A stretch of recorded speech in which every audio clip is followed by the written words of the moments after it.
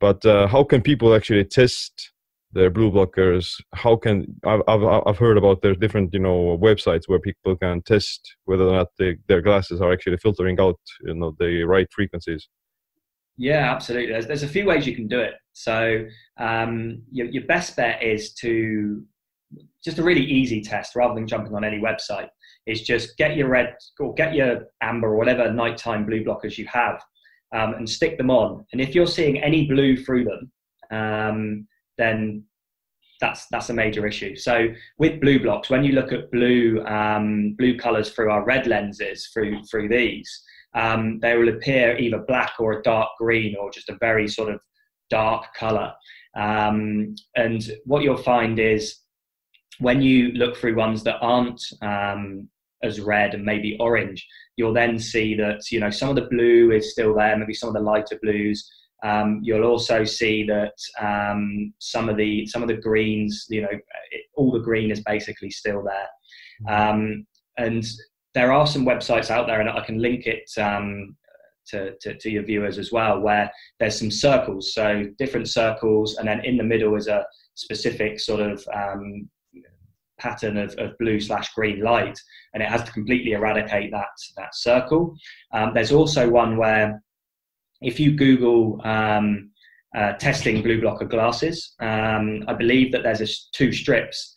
Um, so you got a one strip um, and then underneath another strip, and they've all got the same colors. So they start blue, different shades of blue, different shades of green, different shades of yellows, ambers, and so on through the spectrum.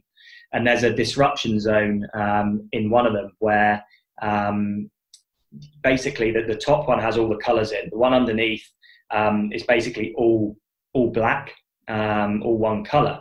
So when you put your glasses on, both of the um, strips need to appear identical for your blue blockers to work. But what you'll find is when you put the amber glasses on, um, you'll, you'll have a small bit sort of that you need to be blocking, but the amber glasses are sort of only blocking up to there and letting that in, whereas the blue blocks are blocking sort of all the way all the way across. Um, so yeah, you, you really need to be testing them out. If you're seeing any blue through your red glasses, then you've got a you've got a major problem. Um, and then the green um, is I, I, have a really good test for green, and I posted it on our um, uh, on our Facebook page. Is obviously I said I like to watch a lot of football, a lot of soccer, um, and the colour of, of, of the grass is green. So put on your blue blocker glasses, and if that pitch is still green and looks like it's been watered and it's amazing, then your blue blockers aren't working. If you put on blue blocks and you're looking at, say, Wembley Stadium or the pitch at Old Trafford or somewhere like that, which is without the blue blocker glasses, is a lush green. The groundsmen have kept it amazing. It's like really, really vibrant. You put your blue blocker glasses on, these red ones, and it's honestly, it's like it, it hasn't been watered in about sort of three months and it's all brown.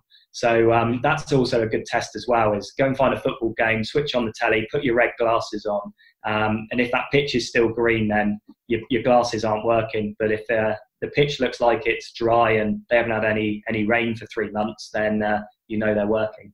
Mm. In the morning, um, you see the sunlight. That clock is entrained, and it starts a cascade of hormone release throughout the day, which keeps you really optimal, keeps you in good shape, keeps you feeling sort of mentally well as as well. You're to sort of start off by feeling maybe a little bit groggy in the mornings, maybe you'll be more of an evening person, you'll start to slump during the day and just not feel great. And over time, that will lead to, you know, that sort of leptin insulin resistance that, that we were talking about, sort of around that, that brain area. And then you're going to develop things like an Alzheimer's, like a dementia. A lot of people think, oh, it's just, just to manage sleep, but it's actually, it goes a little bit more deeper than that. And it goes into metabolism, it goes into insulin resistance. And, you know, you've got to think about light as, as the key sort of master governor of, of hormones as well. Body mind empowerment. Get stronger, faster, smarter, quicker, friendlier, more helpful, more driven. Everything the body needs. Control your mind.